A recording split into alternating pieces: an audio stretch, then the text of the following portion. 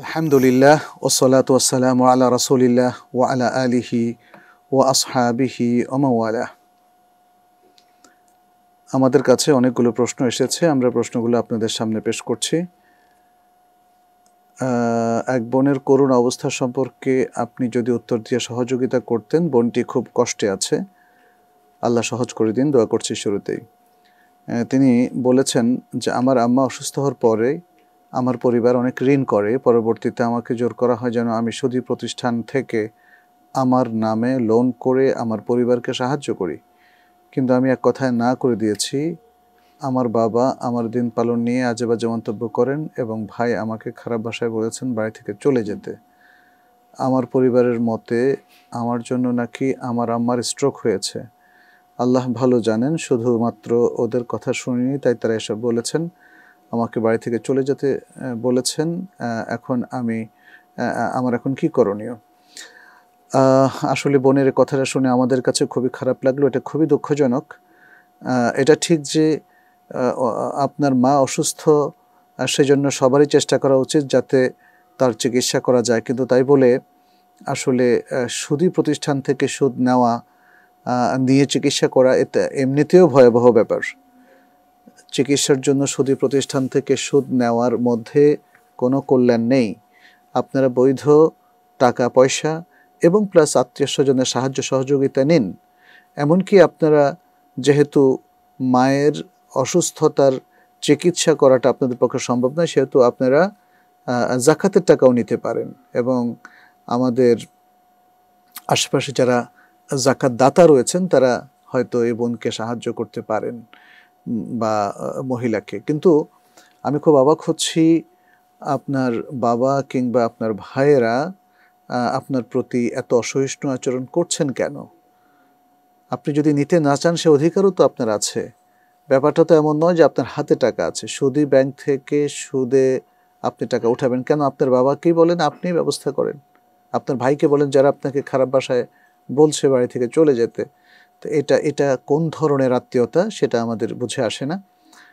মেয়েদের অসহায়ত্বের কথা আমরা জানি, বিশেষ করে আমাদের সমাজে যে কোনো বোনকে তার পরিবারের অন্য সদস্যদের উচিত হচ্ছে তাকে রেসপেক্ট করা, তাকে তাকে সাপোর্ট দেওয়া আর পাপ কাজে কাউকে বাধ্য না করা।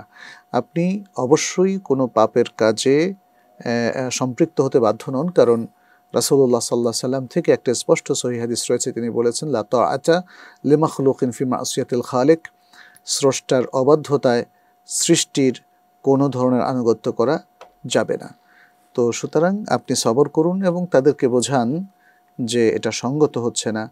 আর আপনি কেন বাড়ি থেকে যাবেন? এটা তো আপনারও বাড়ি। আপনার বাবার বাড়ি, আপনারই বাড়ি।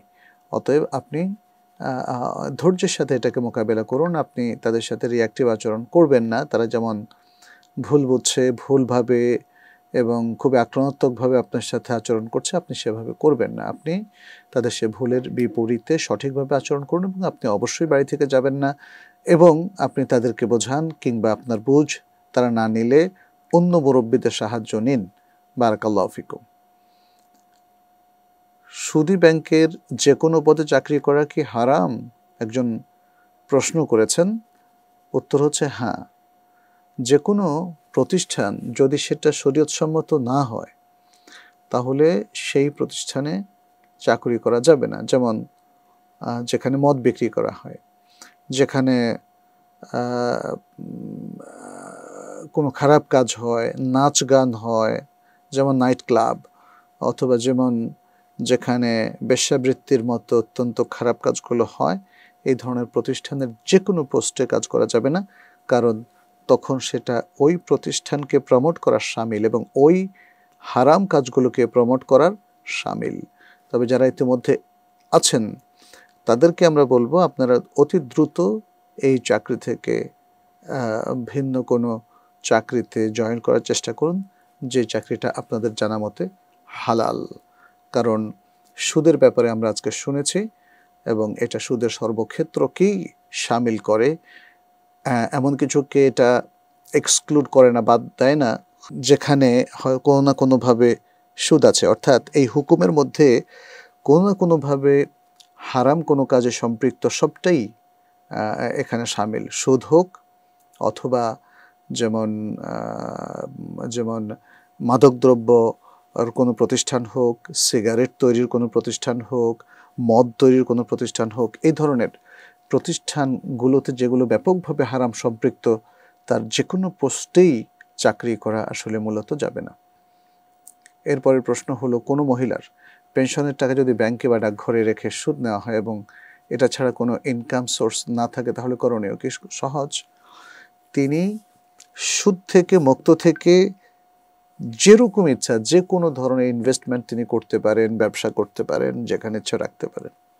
কিন্তু সুদে যে তার পেনশনের টাকা আছে এবং এটা ছাড়া তার আর কোনো ইনকামের পথ নাই, এই যুক্তিতে এই টাকাটা আপনি সুদে মানে বিনিয়োগ করে আপনি সুদ খাবেন, সে প্রফিটটা দিয়ে সংসার চালাবেন, এটা সেরিয়া অ্যালাউ করে না। তাহলে আপনাকে বিকল্প কোনো পথ দেখতে হবে। আপনি সেটা বলে দিতে পারবেন না। বিকল্প তো হাজার হাজার পথ। কয়টা বলব, তাই না? আপনাকে আপনার মতো করে সেই পথটা খুঁজে নিতে হবে। চতুর্থ হলো, ক্রেডিট কার্ডের টাকা দিয়ে কি ওমরা করা যাবে? এককালীন টাকা দেওয়ার পর মাসে মাসে যদি তা শোধ করা হয়। ক্রেডিট কার্ডগুলো আমরা জানি যে সুদি মূলনীতির উপর একমত হলেই ক্রেডিট কার্ড দেওয়া হয়। যে পাঁচচল্লিশ দিন বা পঞ্চাশ দিন পর্যন্ত তারা এই সুবিধাটা দেয় কোনো ইন্টারেস্ট ছাড়া। এরপরে তাদের ইন্টারেস্ট চার্জ হয়ে যেতে থাকে। তো ক্রেডিট কার্ডের যেহেতু এই অবস্থা, তাহলে আমরা বলব এটা কখনো আইডিয়াল হতে পারে না যে একজন ব্যক্তি ক্রেডিট কার্ড দিয়ে টাকা উঠিয়ে ধার করে সেই ধারের টাকা দিয়ে ওমরা করবেন। এমনিও বৈধ ধার, যেখানে আসলে নট অন ক্রেডিট বরং কর্জে হাসানা নিয়েছে, যেখান থেকে এক প্রফিট এক টাকা প্রফিট দিতে হবে না। সেটা দিয়ে ওমরা করতে গেলে মানুষ আসলে একটা চাপে থাকে।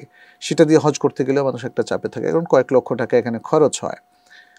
তাহলে ক্রেডিট কার্ড দিয়ে কেন সে যাবে? ক্রেডিট কার্ডের চাপ তো আরও বেশি, কারণ পাঁচচল্লিশ দিন পর এটা আপনাকে নিষিদ্ধ সুদের মধ্যে সম্পৃক্ত করে ফেলবে। অতএব সেটা আপনারা কখনো করতে যাবেন না। আপনি হয়তো ভাবছেন যে আমি তিরিশ দিন পরে দিতে পারব, কিন্তু দিতে পারলেন না। আপনার বিভিন্ন সোর্স থেকে টাকা পাওয়ার কথা, বেতন থেকে, এই জমি বিক্রি থেকে, হয়তো সেটা হলো না, তাইলে কি করবেন? তাইলে আপনি সুদের মধ্যে সম্পৃক্ত হয়ে গেলেন। একটা ওমরা আপনার জন্য মোস্তাহাব, সেটা পালন করতে গিয়ে আপনি একটা হারাম কাজে লিপ্ত হবেন, এটা ভাবা যেতে পারে না, এটা ঠিক নয়। পঞ্চম প্রশ্ন ক্রেডিট কার্ডে একটি নির্দিষ্ট সময়ের মেয়াদের মধ্যে লোন পরিশোধ করলে সুদ দিতে হয় না। এই নির্দিষ্ট মেয়াদের মধ্যে জরুরি প্রয়োজনে কি ক্রেডিট কার্ড ব্যবহার করা যাবে? ক্রেডিট কার্ডের ব্যবহার এখন বাড়ছে। এখন ভালো মন্দ সবাইকেই অনেকগুলো পেমেন্ট ক্রেডিট কার্ডে দিতে হয়। এখন যেমন আপনি একটা পাসপোর্ট করবেন, আপনার সরকারি ফিটাও ক্রেডিট কার্ডে দিতে হয়। এটা কোনো কোনো দেশে, বাংলাদেশে এখনও সেটা চালু হয়নি। তো বাংলাদেশে যতক্ষণ না ক্রেডিট সিস্টেম ব্যবহার করাটা বাধ্যতামূলক হচ্ছে, ততদিন পর্যন্ত আপনি এই সিস্টেমটাকে অ্যাভয়েড করবেন।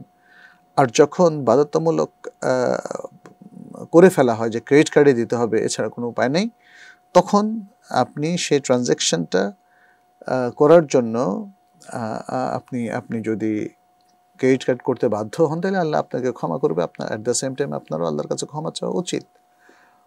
আর আমি মনে করি, সারা বিশ্বে এখন যেখানে ক্রেডিট কার্ডের ব্যবহার রয়েছে, সেখানে ডেবিট কার্ডও ব্যবহার করা যায়।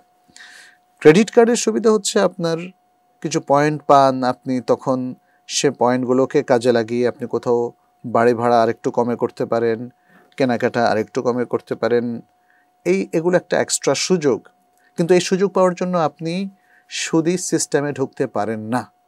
তাহলে আমরা ক্রেডিট কার্ডের ব্যাপারে বলব যে, নির্দিষ্ট মেয়াদের মধ্যে শুধু বাধ্য হলেই ক্রেডিট কার্ড ব্যবহার করবেন, অন্যথায় ডেবিটে কাজ চললে ক্রেডিট ব্যবহার করা যাবে না। এটা হচ্ছে মানে কনক্লুডিং শেষ কথা। ডেবিট কার্ডে কাজ করা গেলে ক্রেডিট কার্ডে কাজ করা যাবে না। আপনার পয়েন্টের দরকার নেই। এই পয়েন্ট দিয়ে কী করবেন আপনি? এই হারামের মধ্যে সম্পৃক্ত হয়ে পয়েন্ট দিয়ে কী করবেন আপনি? সুতরাং আমাদের কথা সেটাই। আর যদি প্রয়োজন থাকে যেটা ডেবিট কার্ড দিয়ে হচ্ছে না বা ডেবিট কার্ড সিস্টেম নাই, যে কোথাও কোথাও এরকম হতে পারে ধরে নিলাম, তাহলে সেক্ষেত্রে আপনি আপনার প্রয়োজন সারার জন্য ক্রেডিট কার্ড ব্যবহার করতে পারবেন। তবে আপনি সুদের মধ্যে যাতে না পড়েন, সেটা আপনাকে মনে রাখতে হবে। কেউ কেউ বিদেশে দেখেছে এমনটা করে যে অন্যের ক্রেডিট কার্ড দিয়ে সে পে করে দেয়। এটাও মন্দ নয়, কারণ নিজে নিজে না করে যদি অলরেডি যিনি করেছেন, তার কার্ড দিয়ে আমি প্রয়োজনটা সারি, তাহলে অবশ্যই নিজে করার যে একটা হ্যাসেল ছিল সেটা থেকে বেঁচে গেলাম।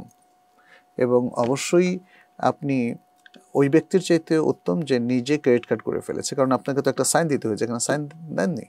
এখানে অন্যরা একটা ক্রেডিট কার্ড ব্যবহার করলেন। এটা নিয়ে অনেকে হয়তো ভাবে যে একই কথাই হলো। না, আসলে এক কথা নয়। পেনশন সঞ্চয়পত্র কি হালাল? পেনশন সঞ্চয়পত্র যদি সেখানে রিবা থাকে, তাহলে কি করে হালাল হবে? এটা রিবা মুক্ত থাকলে তাহলে হালাল হবে।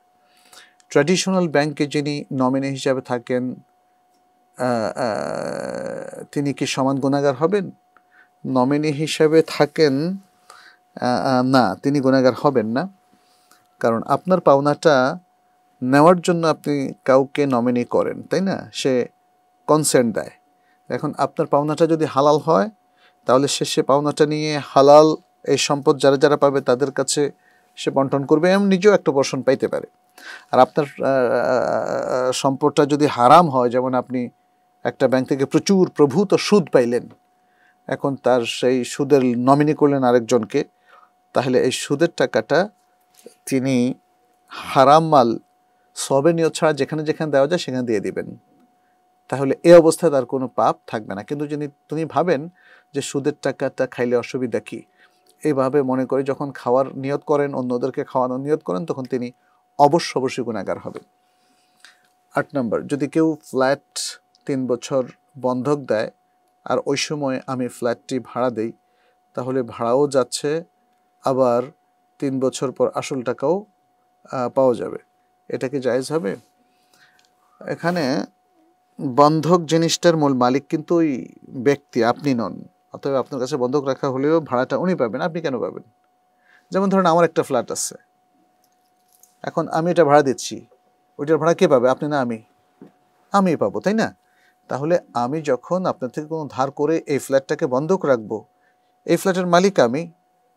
আপনি বন্ধক রাখবেন, কারণ যদি আমি টাকা দিতে না পারি তখন এটাকে নিলামে চড়িয়ে তখন আমার টাকাটা নিয়ে বাকি টাকাটা আমাকে ফেরত দেবেন। এটা হচ্ছে শর্ত। তো এখন আমি আপনাকে ফ্ল্যাটটা দিলাম দুই বছর, তিন বছরের জন্য বন্ধক রেখে, কারণ আমি দুই, তিন বছরের জন্য টাকা নিলাম আপনার কাছ থেকে। তখন ওই সময়ে ফ্ল্যাট ভাড়া দিয়ে যদি আপনি কোনো পান, সেটা আপনার জন্য সুদ হবে।